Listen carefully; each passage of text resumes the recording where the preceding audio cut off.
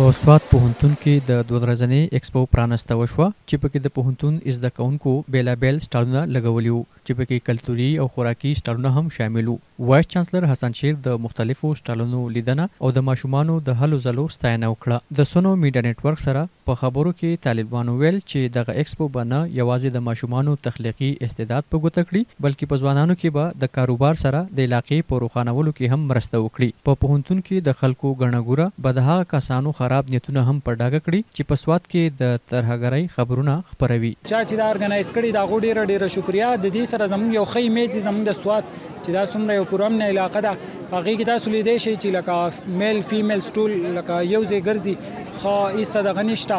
نو دا لکه زمونږ بهر ډېر ښه امیج شو کوي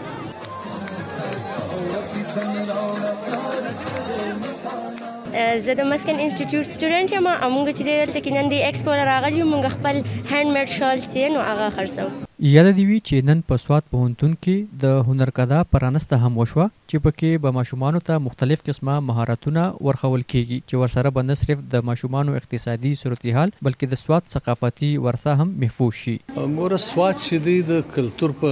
حواله په ټوله پښتنې سیمې کې یو ډېر زیات اهمیت لري، په دې چې دا ځای تاریخ لغه ډېر پخوانی دی او باوجود د هغې دلته په یونیورسټیانو دا کې د فاین آرټس ډیپارټمنټ یا د کلتور دغه نه و، نو اول د پرانست خو مقصد دا و چې دا ډپارټمنټ قایم سي.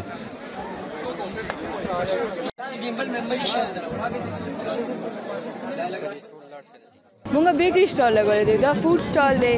دلته چې خلک راځي نو هغه ته وبدلېږي چې سویټ خوراک څنګه ټیسټي دی کور هوم میډ شوی دی خلکو ته پته لګي چې د کور نه خلک څنګه خوراک